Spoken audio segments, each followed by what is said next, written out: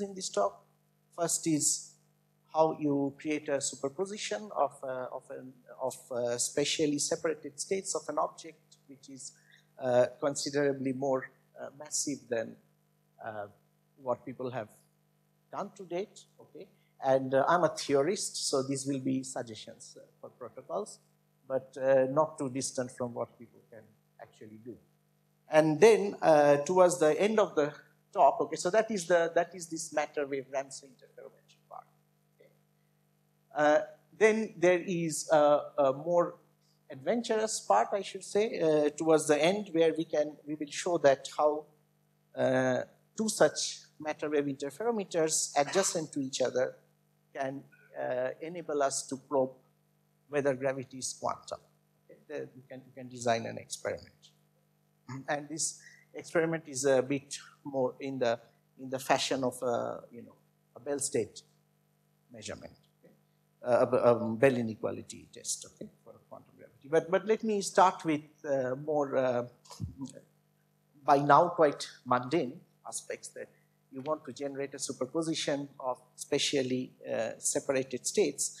So the early proposals were kind of uh, when they were trying to do this, okay, so I, I myself also you uh, did such a proposal using, uh, say, not and occupied states in a cavity, and uh, this radiation pressure that Miles spoke about, you know, radiation pressure pushes, say, the cavity mirror in an in a oscillating state when there is some photon in the cavity, no, no oscillations when there's no photon in a cavity, and so at intermediate times, some superposition is created.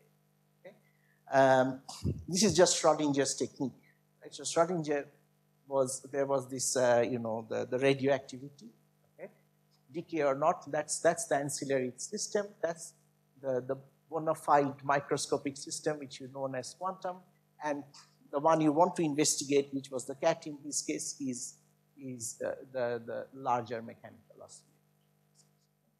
So that technique, unfortunately, to be applicable requires a large coupling between the, the microscopic system, which you can put in a superposition, and then you uh, couple it to a macroscopic system which goes to distinct states corresponding to it. The catch is that you require a large coupling. And unfortunate thing is optomechanical coupling is very low in strength till now, the, the, the kind of coupling at least which is required for this. Uh, there were cleverer ideas later on, okay, so for example, you could use a different ancillary system with larger coupling, but then uh, other problems can come in that, uh, namely the, the decoherence of the, of the fields uh, of the, the ancillary quantum system.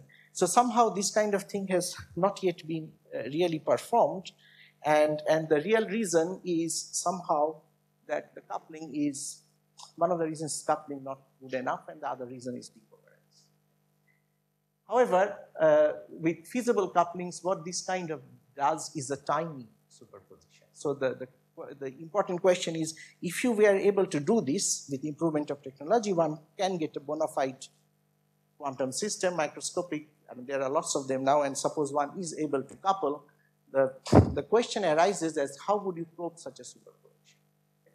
So these, these protocols, uh, you know, they, they kind of subscribes to the fact that this, this microscopic system will entangle and disentangle periodically with the macroscopic system, and then just by probing this microscopic system, you, from, from the, the increase of its, uh, you know, mixedness or entropy with time, you could indirectly, uh, you know, infer that the macroscopic system was going to some kind of superposition at intermediate times. Okay? So an indirect way, just, just probing the, the ancillary system which prepares the superposition. However, the problem is that uh, someone might say, how do you know that it is only entangled with that and not rest of the universe, right? So, so in fact, to uh, probe a quantum superposition, truly in this kind of setting, you would actually require to probe both the systems. And that is, that is also a problem in the Schrodinger kind of technique, where you use an ancillary system to prepare the superposition. And I think we have found, so the first part of the talk is how to probe these microscopic superpositions. Okay? Uh, we will um, borrow this idea from the, the word cow came up quite a few times in the, in the last talk, okay? Here I mean the Colella over over, Overhauser Werner paper, which Miles suggested. And you can borrow their technique and, and then if you prepare a superposition using an ancillary system and place them on the Earth's gravitational field or in any, any acceleration, then you will get a relative phase between the components, okay, as long as they are, they are feeling this acceleration. Uh, and, and that phase can be used, that phase can then map back to the ancillary system so that you can, you can really do a Ramsey interferometer. Okay? That's, that's the idea. Okay? Let me go through more slowly, okay? Because this is, this is new work and this is um, what, my, uh, first part of my talk. So the setting is the following. We consider, so I, I work with a bunch of uh, experimentalists who levitate things. Yeah? So uh, one of them is also around, uh, maybe not in the room at the moment. Ah, Hendrik, okay, and and a few others. Uh, so they and and you have had lots of talks regarding levitation recently, and you can, in principle, levitate a spinful object. Okay? And and one classic example is NV centers in diamond. Okay? Uh, I understand that this this also came up earlier in the in the workshop. Uh, and this NV center has three possible spin states. So if you put in a magnet, okay, near, near this trapped object, this is optically trapped, assume. Uh, if you uh, put up a magnet, then the opposite spin states are going to have shifted wells, okay? just, just because the, of the, the inhomogeneous magnetic field. One spin component prefers to stay there, the other prefers to stay there. And then you can actually complete an interferometer. Okay, we'll, we, how the interferometer works will become uh, clear in the, in the subsequent slides. Okay. And because there's a difference in the heights, that, that's why we have this inclination, a, a relative gravitational phase will occur between these, uh, these two states, the object, and that will feed back onto the relative phase between the spin states, which we will measure at the end of the interferometer. That's the, the basic idea. Okay. So, um, okay. Now, uh, this is just the, the magnetic fields emanating from, from this magnet which is uh, placed nearby. So the only thing important is the magnetic field gradient here, because it's the magnetic field gradient which couples the, the spin of the object to its center of mass motion. It is just like the Stern-Gerlach effect. The magnetic field gradient couples the, the spin, spin to the motion. And, and this is the, the, the magnetic field uh, gradient at a, at a distance along the axis of the magnet. Okay.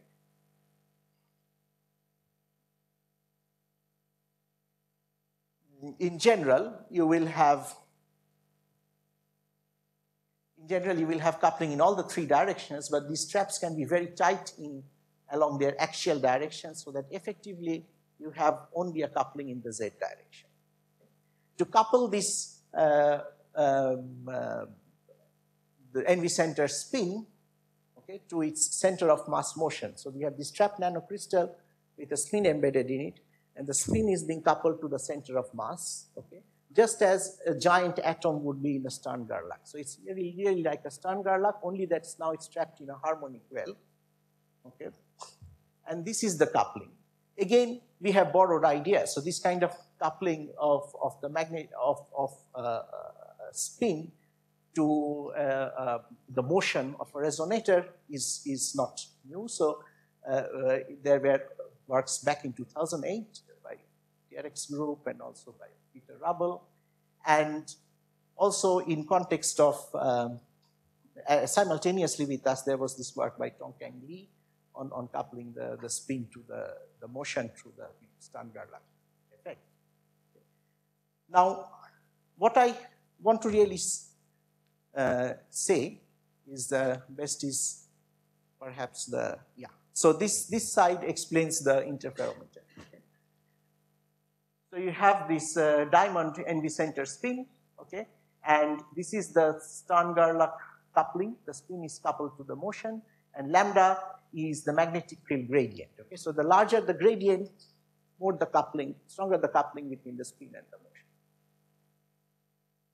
And this term is the gravitational potential. So the, the, this will be just mg into the height difference. So the height difference comes from the ground state spread into the into the you know into the the, the, the amplitude of, of, motion. Okay, so you can see that why this is mgh. The cos theta is there because of our inclination. Okay? Our inclination is the parameter which we use to freely change to do the fringes. Okay, an interferometer means you have, must have fringes. So the theta, so we want to make the G controllable to have the fringes, that's why we have Now what's happening? So you start, say, say consider start with an arbitrary coherent state, okay, uh, somewhere here. So that is this coherent, let, coherence at the left top in this well, but is somewhat here in this well. So in, for the z equal to minus option, this rolls like this comes back. For the z equal to plus option, it rolls like this and comes back.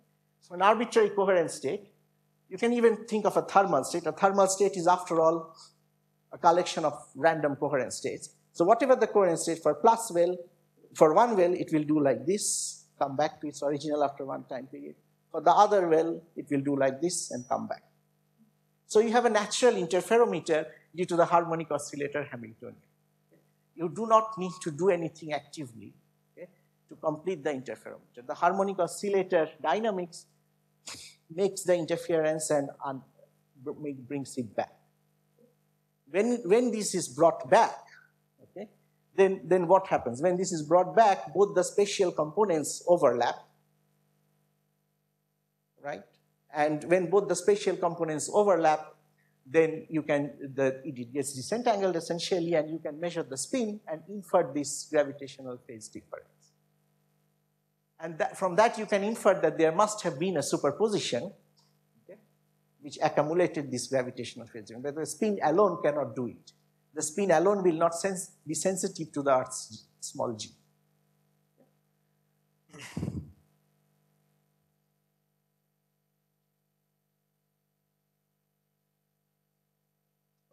so this is how the interferometer uh, works. So first you start with a coherent state of the of the of the, the center of mass of the object and uh, the diamond NV center in Sz equal to zero state. This is a state to which you can very well initialize the, the, the diamond NV center. At time t equal to zero, you apply a, a pulse to create a superposition of plus one and minus one. As soon as you have this pulse, and you then you have this dynamics I was talking about, after the pulse, where for z equal to plus 1 and minus 1, you have this oppositely oscillating center of masses. That is the dynamics for plus 1 and minus 1.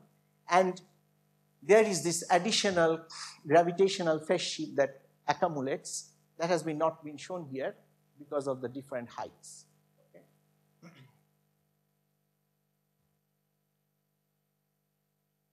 Then at time, at, at the final, final time, the, the, this phase shift, the gravitational phase shift accumulates solely between the spin states. So that's the end of your Ramsey interferometer. So you can, all you have done is only initialize the spin, created a superposition of the spin, and then finally you measure the spin. You never talk, uh, never try to see the center of mass moving at all, but because the phase the Ramsey phase accumulated is something which can only happen if you have a spatially separated uh, superposition of the, the center of mass. You can conclude that the center of mass must have been superposed. And this will allow you to infer really tiny superpositions because it's very difficult to really apply Ramsey phase to one part of a superposition as opposed to the other. Okay, if it is as um, separated by as small a distance as, as will be in this case. So uh, for example, I have shown it here. The kinds of masses they trap are 10 to the power minus 17 kg, what, what they regularly do, okay, if in, in 100 kilohertz traps, then typically the separation that happens due to this magnetic field gradient is of the order of a picometer. And for a picometer superposition, you cannot take a field and give a relative phase to one arm of the interferometer opposed to the other. But gravity does it very naturally for you. So the, the, the, the Colella idea was, was very useful here. And you can get an order of unity of phase if you hold the superposition for a microsecond, that, that's what we use there, okay, in a, in a magnetic field gradient of 10 to the power 4 Tesla per that, that, these are the, these are the, requirements. And of the order of unity means you can get the full oscillations. Then you change your theta and, and you, you get the interferometer pattern. Right, and, and how do you finally measure it? This is just to wrap up the, the thing that you, you just measure the probability of the plus one plus minus one to come back to zero in a pulse, okay? So you're just always just measuring and preparing the internal states. And then this is your fringes.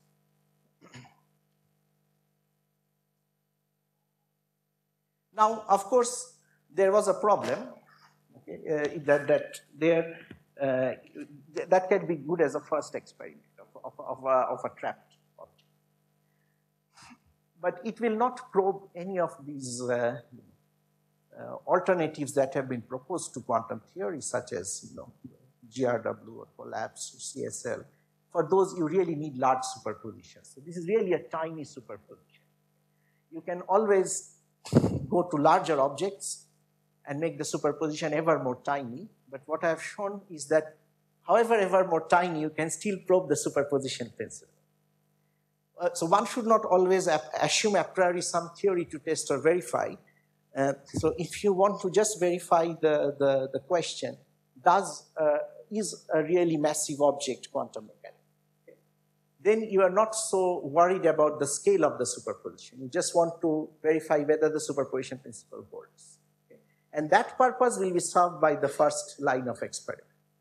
Okay. When the superposition is tiny, becomes tinier as you go, go more massive, but nonetheless, you can do exactly an interferometry because of the gravitational phase difference. But we would also like to improve things to go to larger and larger superpositions. Then, then one can really try to uh, you know, test some of the unconventional theories. Now, for that, what we needed is to liberate the objects. This is again, again, we are borrowing ideas from some places because liberating the objects is not original either. So Oriol Romero-Isart and Ignacio Cirac and others proposed that you can, uh, for if you let things really fall, and somehow you have created a superposition, then, then you, can, you can really increase distances. And, and not only that, even Markus Arndt that you heard, okay, it's, it's, it's, it's a free flight interferometer. So Hendrik Ulbricht, who is an expert in that, we got together with him and we think uh, we have a scheme where you can actually liberate and, and increase the distance. What is, what is uh, constraining us in the previous uh, thing to a picometer distance is that the object as, as a, is both the good and bad there. Okay, so the good is that it comes back for the interference, but the bad is, of course, it's limited to within the harmonic well. Okay, on the other hand, if you let it go, it will go further. So we just use the Stern-Gerlach effect, okay? Instead of a silver atom, we have a large atom-like. So we have a spin inside, inhomogeneous magnetic field. It starts accelerating, okay? At certain times, at time tau by 4, okay, we, we flip the spin, then it starts decelerating. Decelerating, and then it will come to a turning point, turn back and start accelerating, then at time 3 tau by 4, we flip the spin again. Okay? Then it starts decelerating. So we need two spin flips to have this free particle interferometer. Now, now it is not confined to a well. It can go to as much distance as it wants, as, as much time as is allowed by coherence of the internal state, and of course the spatial center of mass state to fly. And you are, what you're doing is you are doing and undoing a Stern-Gerlach experiment. This is the the doing of the Stern-Gerlach, this is the undoing of the Stern-Gerlach. Now, we were not sure that this kind of scheme would be very uh, have, have the nice robustness features of the previous scheme. The previous scheme has very nice robustness features that you can start from a thermal state. And, uh, yeah? yeah. yeah, we, we flip the spin twice, okay? By an external pulse, you have to flip the spin once here to start decelerating and then it accelerates, goes opposite, and then to flip again to decelerate to come back. Okay.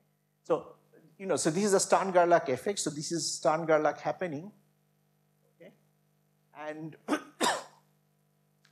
you have to finish the interferometer. You have to you have to let it expand and come back.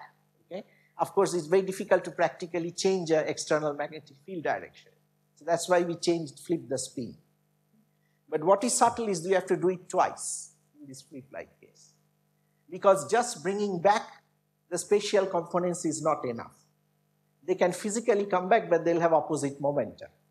So they will be orthogonal. So to complete the Ramsey interferometry, because you only want to measure the spin, you actually have to bring, you have to slow down and make, make these packets come exactly overlap.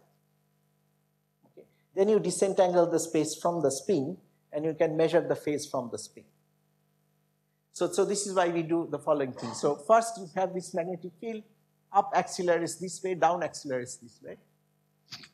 At time tau by 4 you flip, okay, this is the exact pattern in space and this is in time.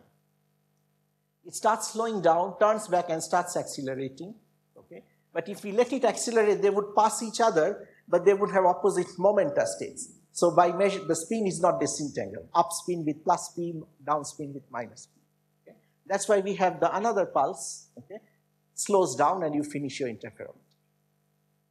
But what is good about this scheme is now, whatever initial state it started with, for every initial state, you have done the acceleration, deceleration to bring back exactly to the original state, right?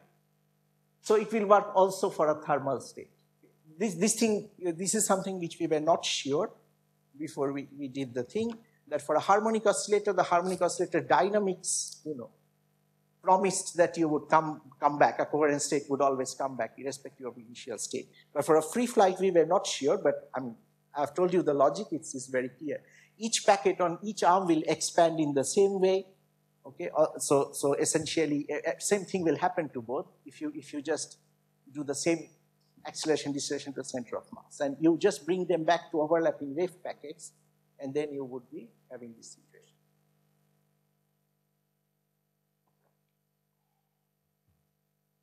Now, following this kind of scheme, we can actually, uh, okay, so we actually proposed in the paper to do this in an incline, again using the gravitational uh, you know, potential difference to give a phase shift, but perhaps in a, in, a, in a scheme where you have a sufficiently large separation, you don't need gravity to provide the phase difference. You might have some field gradient, which will other some different field gradient, like a like a um, you know um, electric field offered by light, uh, which will, will offer a relative phase. But again, just to, the, the, scheme is there. So you have a spin flip once. So first they're trying opposite. You have a spin flip. They start coming back. You do a spin flip again, and then they, they decelerate and come back to the exactly the same original state, apart from wave packet spreading. Yeah, but, but they have spread the same way, so they overlap, and the spin disentangles.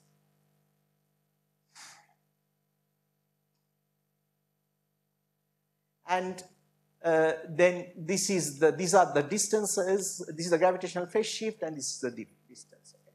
You can, you can mathematically understand why TQ, okay?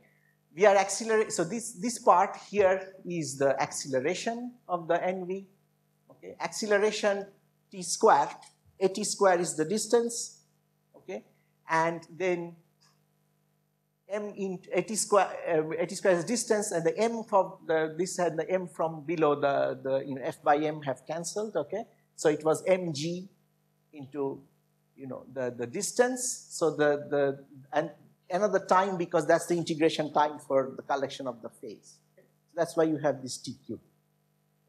And what effectively happens is that for a 10 to the power 10 AMU mass, you can in principle get to a superposition of states separated by 100 nanometers.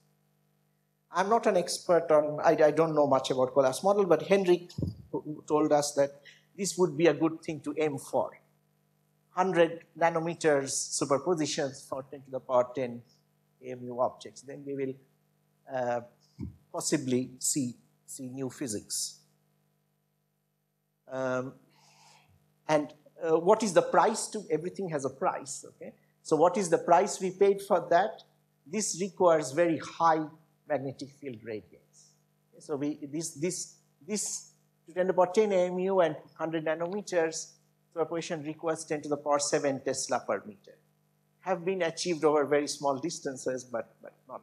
So we, if we go for lower, so if we go for one, degree, one order less, we'll get 10 nanometers. Two orders less, we'll get one nanometer. But these are still spectacular compared to the one picometer which was there in the, in the trapped object. So that, that would all, all be interesting, this uh, free flight way. Now compared to other free flight uh, interferometers like the ones which have been proposed from you know, Innsbruck and Munich, uh, is that, or, or even the ones which uh, uh people like Hendrik, Markus Arndt tried to do, is that here it is Ramsey. Okay? So it only measure the speed. You never care about the spatial thing. You just conclude about the spatial thing from the something which could, could happen only to the some phase which will accumulate only to the spatial state and has now accumulated on the speed because in the intermediate times it was intact. So that's, that's, the, that's the only difference.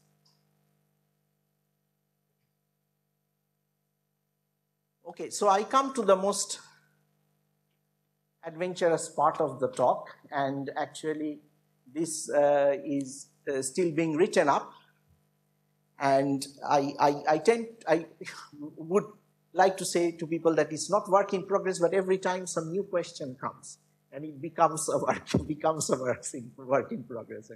But I will, I will, I will, I will tell you. So, so it's something which we are writing up for uh, like more than a year now. But some new issue always arises, so we have to go back and think again, and, and we sort that out. But let us let, let me try to start very theoretically and schematically. Consider the fact that somehow you have been able to uh, prepare two, uh, two matter wave uh, you know, interferometers okay, um, next to each other and create two superpositions. Um, I call them left and right. Okay? so just it's dichotomic. Okay, you have and consider that you can actually hold this uh, for a time. How to hold this, I'll, I'll come later. I'm not going to a explicit scheme immediately. In a few slides, I will do that. But suppose you can hold, so that's why the held is italic. Suppose you hold two macroscopic superpositions steadily. One is left plus right, the other is left plus right. This could be created due to the, the kind of interferometer I was talking about, but I will go to the explicits a bit later. Now also consider that they interact only through the gravitational interaction. This is very challenging to fulfill, but again, I will, I will tell you towards the end how this is done. But consider for the moment, there's no electromagnetic interaction, there's only gravitational interaction acting. Then what happens? So the state in each interferometer is left plus right, left plus right initially. However, if you expand out, you will see there are components where the masses are closer, where the components where the masses are further, and they will all acquire different phases due to the Newtonian gravitational interaction. People typically have this idea in their subconscious that this is very low, but that's not because of the h crossing the denominator. So it's not that low. It's still low, far lower than if you had two charges at that point. I mean, 10 to the power 30 order low. But you have to ensure of course, that there are no other interactions. But then these are these phases occurring. Okay? And these phases are purely due to the Newtonian gravitational interaction.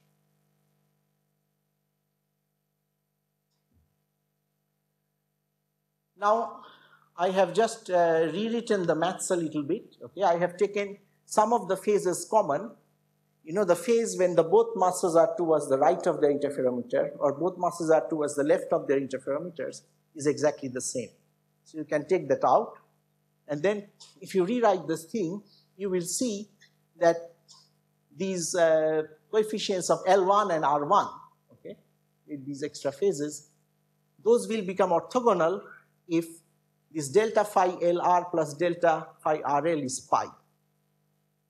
So if the sum of these two acquired phases, phase differences, okay, delta phi RL and delta phi LR is pi, then the complements of L1 and R1 are orthogonal, which is a maximally entangled state of two qubits. Okay, here, what is the qubit here?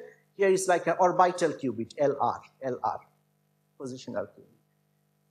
So maximally entangled state of two orbital qubits yeah, reminds you of Bell's inequalities. Okay? So this entanglement can be verified if you can generate that maximally entangled state through a simple Bell inequality.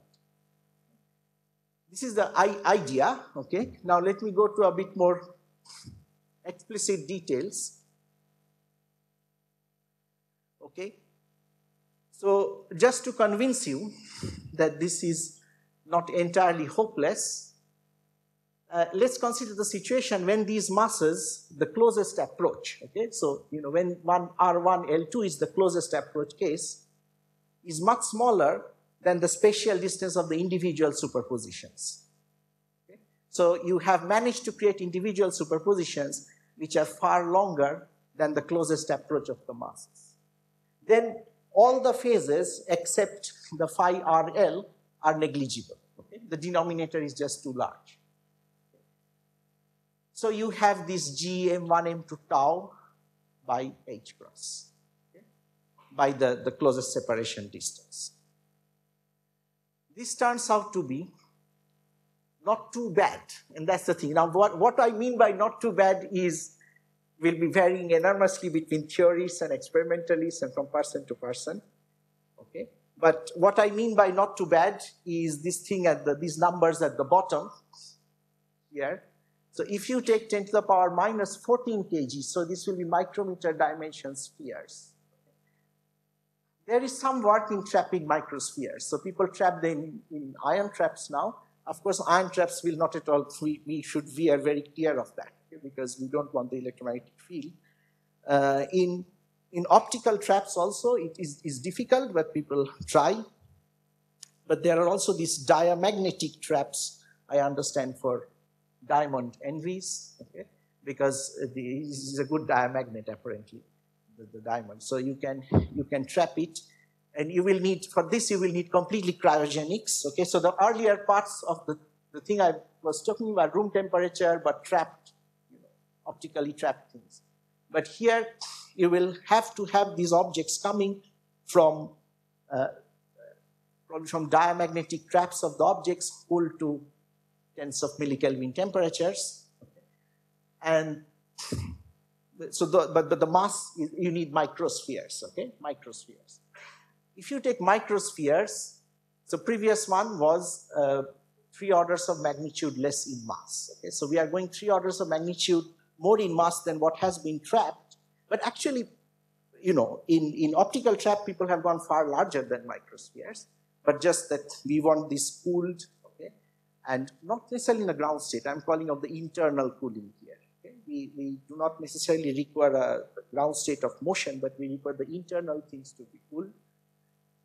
And we have to keep the problem. So, so this paper was almost being written up and I gave a talk end of September in, in Benasque, in, the, in a largely experimental audience of, of these trappers. And what came up, unfortunately, was that Casimir force is something which we had, uh, you know, did, did not uh, think that they will be there at, at, the kind of separation. So we were doing the thing with my micron separations. Okay? But and, and uh, if you talk talk to an experimentalist, often they will tell one micron, maybe Casimir is not there. But people who know, there was this guy Andrew Geraci who knows about these things. Uh, actually, it is hundreds of microns, unfortunately. Okay? Not hundreds. So, so 100 micron at 100 micron separation, the Casimir force is negligible compared to gravity. Okay? But even at you know one order, so 10 micron separation is far larger than gravity. This is a different one by R dependence. So you need to separate by 100 microns. In, order, in other words, you need to be safely at a separation where Newton's law has been verified very reliably. Okay? So you have that kind of separation. But what demand it places on the superposition is that at least that must be comparable as well. That's the problem. I told earlier that this is larger compared to the separation, that we won't even aim. In practice, we will aim to just create an equal superposition. That also suffices, but that means that we have to a 100 micron separation. So just think what I, I was telling that this uh, 100 nanometers was stretching the magnetic field gradients, right? But what can we do? Okay, so we utilize the fact that spin coherences are going up. And that nuclear spin is, is very coherent. But just, uh, just a brief pause in the middle, uh, that if we, if we do verify that, what we will learn about the gravitational field, my, forgive my horrible drawing there, those are field lines, okay, those arrows okay. so what will we learn? This phase has accumulated, okay, means that such a configuration was steadily held without decoherence for some time. Okay? Such a configuration, different field configurations must have been held in a coherent superposition for a time for those phases to accumulate. So it will prove that the, the gravitational field was, fields, different configurations can be in a coherent superposition. I have put coherent state labels there for the field for, for uh, I won't go into that. So yeah, it might become clear at the end why it is, we, we just can just say field configurations for the moment, okay? But this is how we are planning to do this and how to avoid all those complications. It's not that it is all doable tomorrow, but I'm hoping, I have ask people like Hendrik, but maybe 10 years, 15 years, 20 years, but, but, but it's not, it's not the, it, it is not something which we require galactic technology to do. So that's, that's, that's the issue. okay. Now, this interferometer looks a bit different from the one I showed earlier. Okay. You see, so we, first of all, we use the best possible spin coherence time which is for NV electronic spins, we can stretch it and think it's 100 milliseconds. People in, in bulk NV, people have reached things like 600 milliseconds with dynamical decoupling, okay, uh, where you flip the spin. That is very bad for us because the, the, the, the okay, so I, I, I should tell one important thing that uh, there was another open question that this Bell correlation that we want to verify it's very difficult to verify between spatial, uh, you know, spatial uh, uh, orbitals okay? because you have to have another way of undoing the superposition. But what happens is if we do it in the Stern-Gerlach way, as I was saying, it all maps back to the spins. So the gravitationally Newton interaction mediated entanglement goes into an entanglement with the two, the spins of the two NV centers. So all you have to do is a Bell inequality test between the spins of the two NV centers. And Bell inequality test with NV center is very famous and topical at the moment because of the recent loophole free Bell inequalities there. So the Bell, Bell test will here not, is not designed to test non-locality, but here it is designed to witness the quantum nature of gravity. Because without a quantum mediator, you cannot get entanglement between two quantum systems. Okay? To have uh, quantum entanglement between two systems, you necessarily have to have a quantum mediator propagating So if you verify a Bell inequality between the spins, you will, uh, time is up, right? So then, then you will verify this uh, gravitationally induced entanglement. The only thing I wanted to tell here is we also map to nuclear spins. So we, we accelerate for a brief while, we map to nuclear spins, then we can let the superposition propagate for a long time, okay? Then we map back to electronic spins to decelerate, let them fall next to each other for some time. Then we map back to electronic spins, we bring back. So because the nuclear spins give us the time, yeah, time to integrate. And uh, essentially, uh, you verify that something was a coherent mediator. now, if you go to the, the low energy effective field theory that Miles was mentioning due to Donoghue and others, he told towards the end of his talk that you could map it to a model where the, the local number of a Fock state interacts with the displacement operator of the, you know, of, of the gravitational background, okay? So here the, the BKs are the gravitational modes of the space and uh, uh, the edges, edges are, are the, the, A, A, A1, A, um, so A1 and A2 are the two number for the two masses, and sigma stands for the left or right mode. Okay, so I've discretized momenta here in writing that. Not the momenta of the of the, the of the center of mass of the object, but I have not discretized the, the gravitational background that has the k in it. So if you solve that dynamics, and this dynamics has been done before in optomechanics, so we can very easily solve it, the Newtonian potential is comes up from that term actually but the gravitational field states end up in coherent states. Now, you know, there's good reason to believe that at low energy effective field theory, um, you know, will be the correct theory to which any quantum gravity theory should reduce at, at low energies. Then the implication is that you have a superposition of distinct coherent states if you get, uh, is possible for the gravitational field if you get an entanglement between the spins of these two masses after the interference, which you can verify by a Bell test. I have put the question mark on this distinct because the subtlety is that you know the phase is being acquired between the, those states, the, this sum over sigma sigma dashed, okay, the particle being here, here, here, here, here, here, here, here, here, here, okay. Those are the four sum over sigma sigma dashed.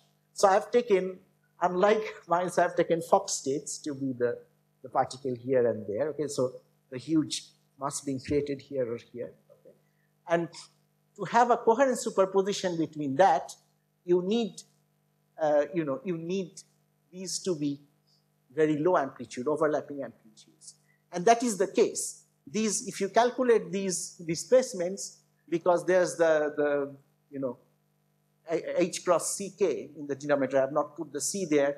Uh, it's a, you know, it's very low amplitude. These, these, these coherent states are almost overlapping with each other. At the same time, they are coherent states.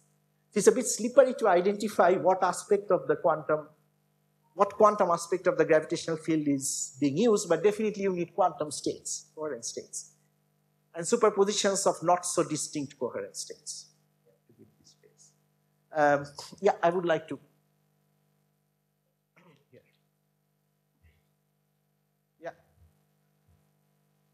Okay, uh, we have one minute, so one quick question maybe. Yeah. yeah.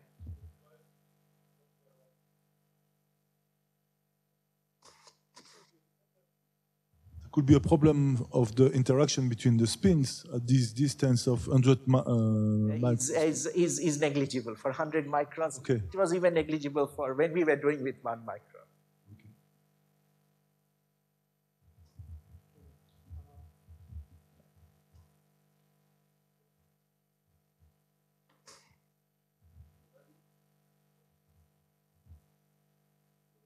Your problem with the, I'm sorry, regarding your problem with the Casimir uh, yeah. force that seems to be the major impediment in, in, in your experiment. I just thought that this force will be proportional to area, so it will scale differently with the size of the object. Yeah. So perhaps you could do this experiment with several objects and see how, hmm. how things scale. Yeah, yeah. I mean, those are all, all things we try to think. I mean, uh, it's, it's very difficult to come up with a quick solution that way. I mean, the different spatial dependencies one could use. The problem is one doesn't even know the Casimir very well. uh, it hasn't been very so. So it is. We are taking for the moment. We are. It, it's a very good suggestion. For the moment, we are taking the safest approach just to keep out. Of course, we are making the the, the superposition very demanding there. What you have said is is the main route to the future, but perhaps one can uh, you know use the different dependencies of those forces to make the experiment less demanding in terms of superpositions. Okay, so uh, let's thank the speaker and break for tea.